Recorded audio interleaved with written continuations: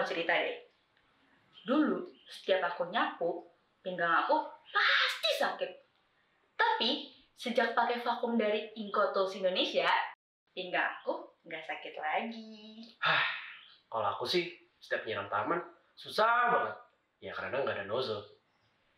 Kebetulan istriku ini pengertian banget sama suaminya karena dia beliin aku nozzle. Nozzle dari Tools Indonesia bagus banget.